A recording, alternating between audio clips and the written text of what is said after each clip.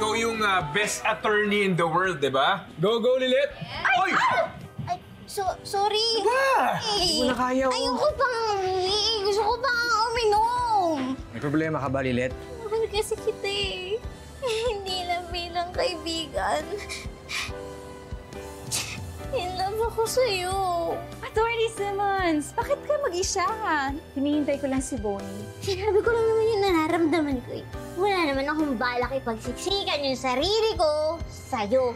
Oh, na. Ito mo na. Di mo na kaya.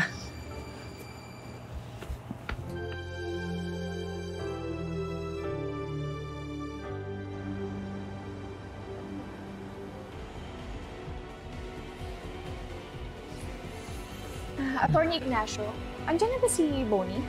Um, balis na siya eh. Mukhang hinatid pa uwi si Lilet.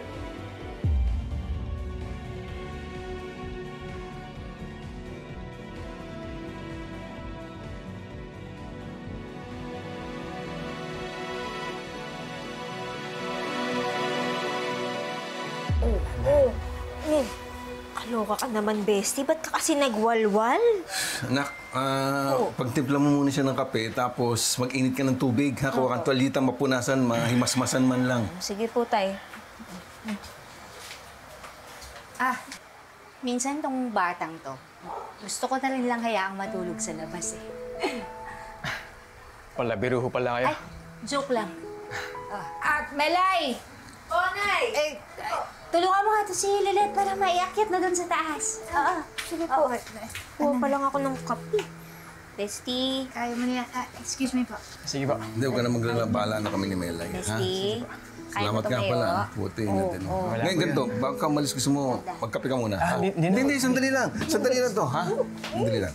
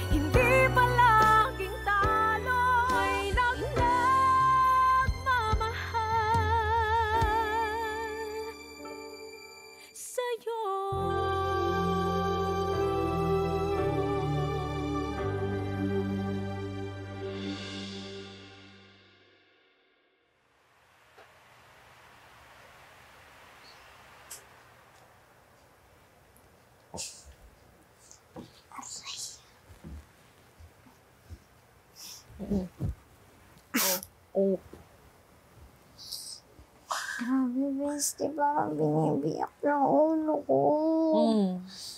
Sakit. Hindi na talaga ako ulit iinom ng alak. Ano? Bestie, kaya pa? Huwag naman sumpain ng alak. Masarap naman kasi yan in moderation. At saka, sa tiyan lang po yan dinadala, ha? hindi sa... Hmm. Puro ka nga. Kasi nangyari? Kasi nagpakawasak. Hmm. Kainis wala talaga ako maalala, bestie. Ibig sabihin mo, Bessie, blackout ka talaga? Hmm. Ala ka, Bestie, sinasabi ko sa'yo. Kung wala kang maalala sa ginawa mo, paano ka nakakasigurado na wala kang ginawa o sinabi na hindi dapat? Ala ka, Bestie, sinasabi ko sa'yo. Hmm. Susunod si Bes. Wala talaga.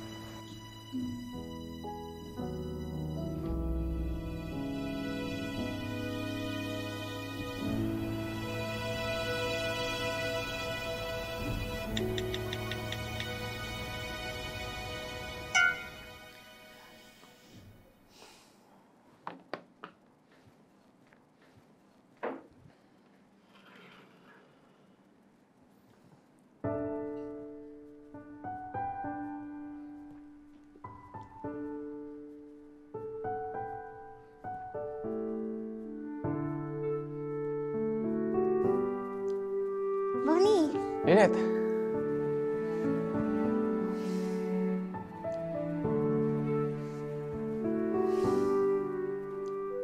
Kumusta pakiramdam mo? Eh, nakwento nga ni Melissa sa akin kung paano mo ko inasikaso kagabi. Tsaka kunento din ni Melay na ikaw yung naghatid sa akin. Laking abala ko sa'yo. Salamat ah. Lilet, alam mo, wala yun. Just wanted to make sure na you got home safe. Bonnie, may tanong pa pala ako. Eh, Behave naman ba ako kagabi kahit lasing na lasing ako?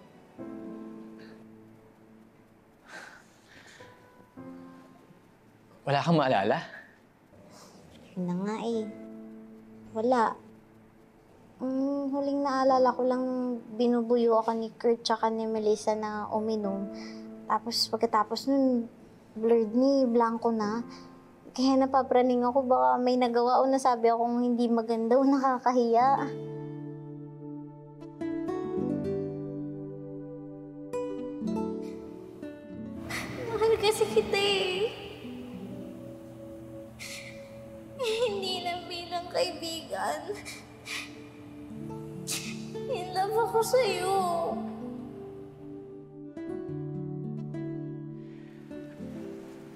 I don't think I'm the right person to ask, Lilet. Late na rin kami dumating sa party ni Eira. Alam mo, it's nice to see you here, pero kailangan ko nang bumalik sa opisina. Sige.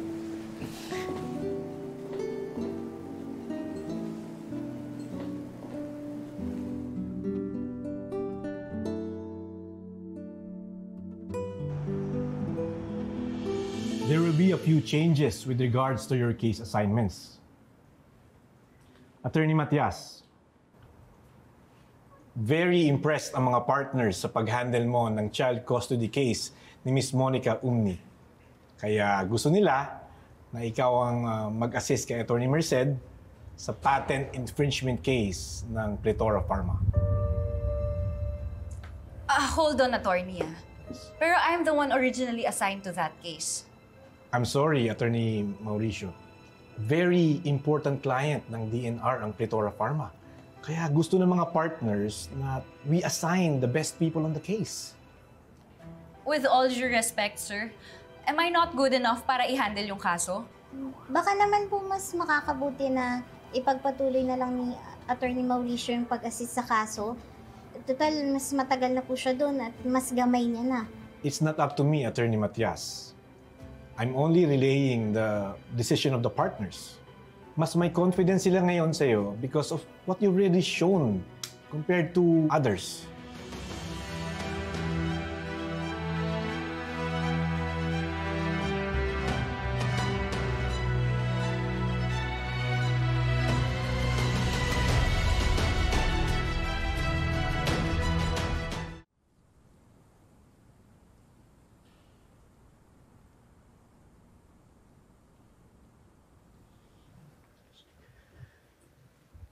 Eira, pwede ba kita makausap? Eira, bumalik ako sa party, pero wala ka na ron. Nag-text ako sa'yo, tumawag, hindi ka sumasagot. Look, gusto ko lang mag-sorry. Pasensya na, hindi kita nasamahan sa party. It's alright. You made it clear na mas importanteng maihatid mo yung kaibigan mong si Attorney Matias kaysa mag-enjoy na kasama ako.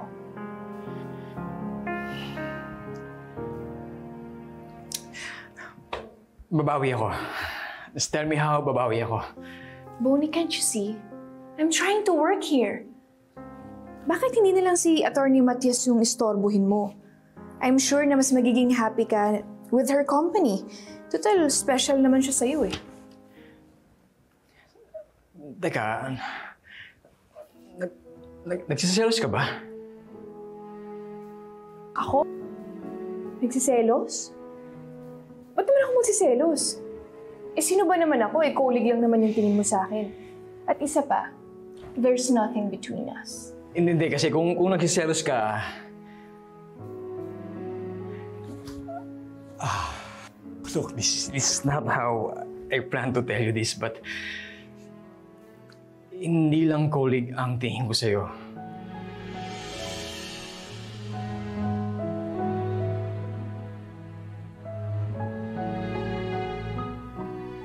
do you mean? You are special to me.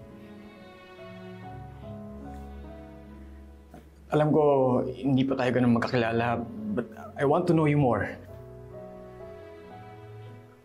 I want to know you more because I like you. Hindi lang, hindi lang basta colleague, I like you more than a friend.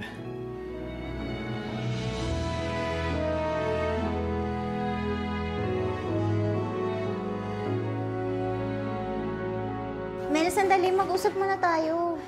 What more do you want? Hindi pa ba enough sa'yo na naitsipwera na ako dito sa high-profile case dahil sa pagiging bida-bida mo? Hindi ko naman kontrolado yung desisyon ng mga boss natin eh. Kung ako yung papapiliin, hindi ko tatanggapin yung kaso para ma-retain sa'yo. Pwede ba? Tantanan mo na yung pagiging innocent effect mo? I'm not buying it. For all I know, kaya ka lang naman malakas at mabango dun sa mga partners dahil sa pagiging bida-bida at pagiging sip-sip mo kay Ma'am Lorena. Siguro, ikaw mismo ang nag-request kay Ma'am Lorena na matanggal ako dito sa kaso para makuha mo yun. Grabe ka naman, Mel. Naisip mo talagang magagawa ko yun. Bakit ko naman gagawin yun sa isang kaibigan? Kaibigan? Tigilan mo nga yung ilusyon mo na magkaibigan tayo. Actually, nagsisisi lang ako na naging mapait ako sa'yo eh. Kunwari ka lang palang santa. Yun pala, gusto mo lang akong mapahiya at maungusan ako. Kaya consider this as a declaration of war, Lilet. Tapos na ang pagiging good girl ko sa'yo. So you better watch out. Dahil ginising mo ang malditang Melissa. And I will do what I do best to make your life a living hell.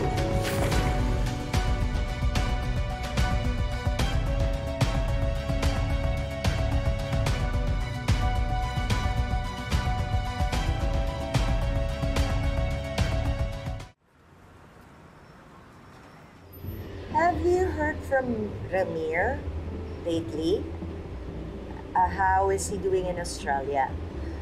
Baka naman puro naman business yung inaasikaso niya, napapabayaan na niya yung sarili niya dahil puro business expansion yung ginagawa niya doon. Two weeks ago pa yung huling correspondence namin ni Ramir. Mukhang maayos naman yung lagay niya doon. Do you happen to know where he's staying there in Australia? Baka naman pwede ko siyang sundan para naman meron siyang makasama. I'm sorry, Patricia. Pero hindi dinisclose ni Ramir sa akin kung saan siya tumutuloy. Even if I knew, hindi ko rin naman maaaring sabihin sa'yo eh. Dahil mahigpit ang bilin ng asawa mo na hayaan mo na siyang mag-isa. I guess he wants to sort all of his problems all by himself.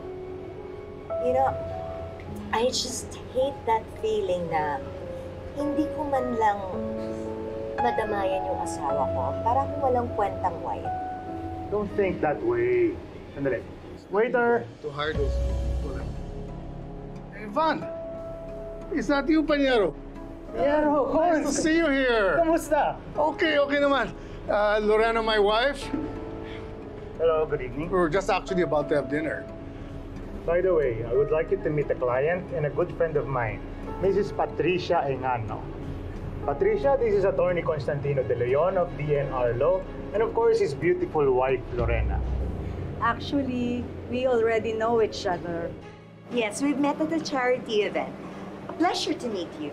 Uh, I'm sorry, Engano, would you happen to be related to Ramir Engano of RLE Manpower Enterprises? He's my husband. Kilala kasi ang husband mo sa employment industry. Uh, is he here? It would be an honor to meet him. Some other time, he's in Australia. Alam mo, masyado na natin naiistorbo yung dinner nila and our table is waiting. So let's go. Yes, of course. Risha, it's nice to meet you again. Me too. All right, Panyero, let's play golf sometime. Sure, Paniero. All right? Take care. Enjoy the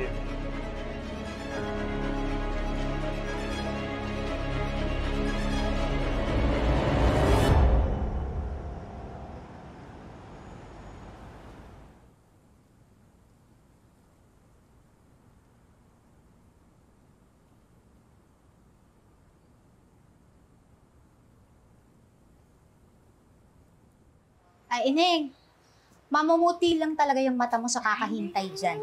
Oo. Nay, tama na. Huwag ka lang humopia kasi nadalating pa yun si Bonnie para sunduin ka dito tapos ihahatid ka. Hindi mo yari.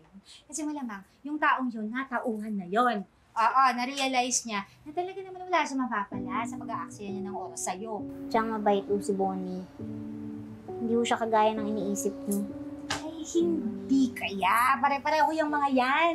Oo, naku, ewan ko, ewan ko ba dito? Lilit, hindi ka na talaga nasanay, no? Tignan mo, ang mga taong yan, walang gagawin, kundi i-abandona ka.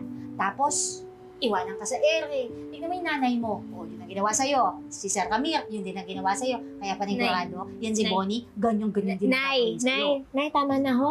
Mapapaagay menopause niyo pagtuloy yung pinag-initan yung bestie ko eh. Totoo naman yung sinasabi ko. Tsaka isa pa, dapat nga nagpapasalamat sa akin yan si Lilith kasi nire-real talk ko sa para hindi siya umasa, para hindi masyadong masakit. Ganon. Alam mo dapat mong gawin? Sumunod ka sa akin doon, sa tindahan ng daming tao. Ha? Sumunod ka sa akin. Opo, Nay.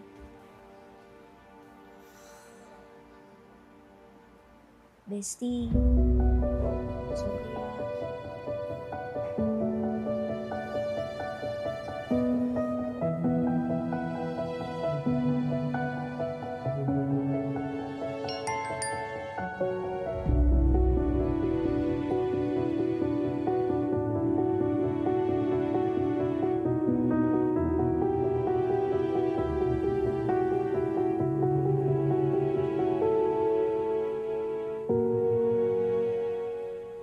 hindi ba tama ako o tama ako?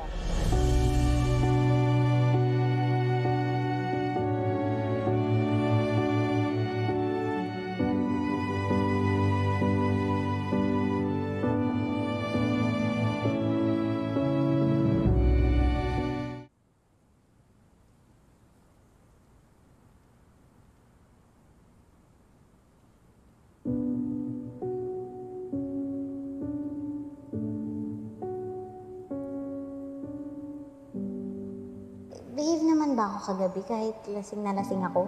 Wala kang maalala? Wala. Mm, huling naalala ko lang binubuyo ako ni Kurt tsaka ni Melissa na uminom. Tapos pagkatapos nun, blurred ni, blanco na. Kaya napapraning ako baka may nagawa o nasabi akong hindi maganda o nakakahiya. Huwag ka nang humopia kasi nadalating pa yun si Bonnie para sunduin ka dito tapos ihahatid ka. Hindi mo yari. Kasi malamang, yung taong yun, natauhan na yon. Oo, na-realize niya na talaga naman wala siya mapapala sa pag-aaksaya niya ng oras sa'yo. O, Lilet.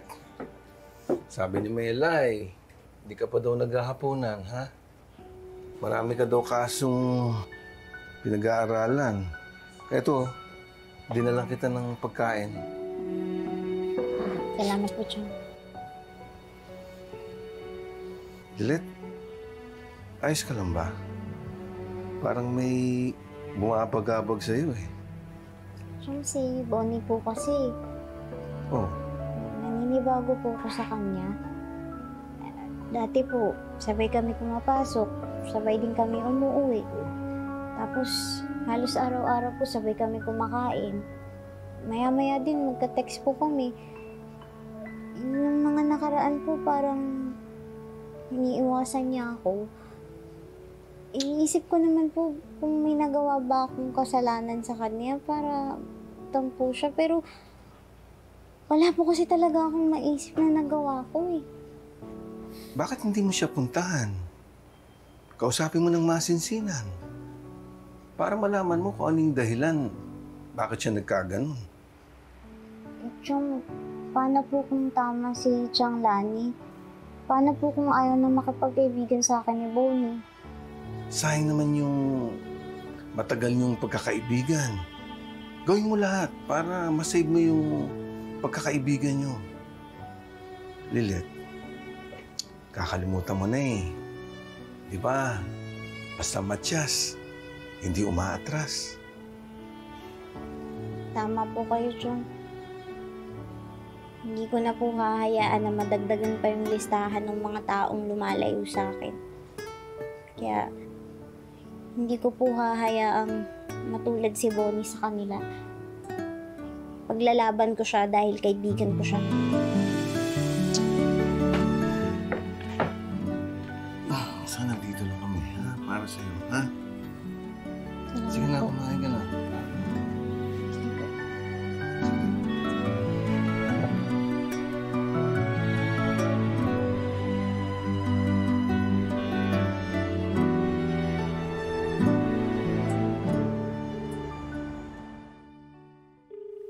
Bonnie.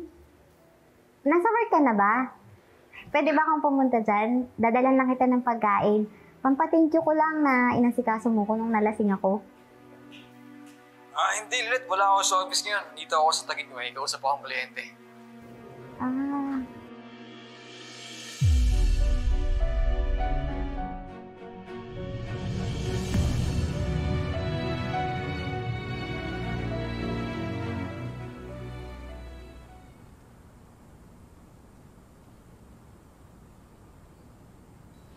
Napaliwanag ako. ano bang kasalanan ko? Bakit iniiwasan mo ko? Hindi. Hindi naman sa ganun, Lilit. Wala naman tayong problema, di ba? Di, di ba magkaibigan tayo? Bakit bigla mo na lang akong ginughost? Eh, kung may problema tayo sa isa't isa, pwede naman nating pag-usapan yun eh, para maayos. Hindi. Hindi sa ganun, Lilit. Kailangan mo pang magsinungaling para lang layuan ako. Bonnie, gusto ko lang maintindihan. Ano ba ginawa ko sa'yo? Ano kasalanan ko? Kasi mula nung gabing nalasing ako, parang bigla ka na lang nailang sa akin. Ano, may nagawa ba ako sa'yo? Ano bang ginawa ko? Okay, sa... Sorry kung naramdaman mo iniiwasan kita. Hindi ko lang alam kung paano ko tatanggapin yung mga sinabi mo sa akin eh. Ano bang sinabi ko?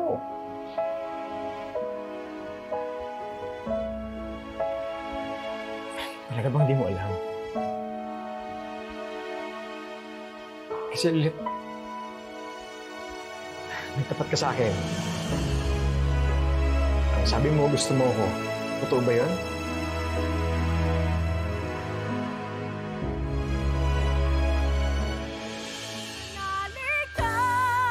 Di pa tapos ang kwento Hindi pa laging tayo Consider mo na lang to as blessing in disguise. Kasi kung naging kayo ni Bonnie, lagi kaming stiff neck. Kaibigan lang kami. Parang hindi naman yun yung napanood ko. Ano napanood?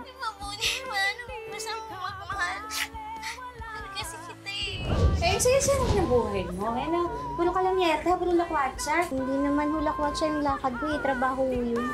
Alam mo, mas maganda kung samahan mo kami sa table para sa opening program ng convention.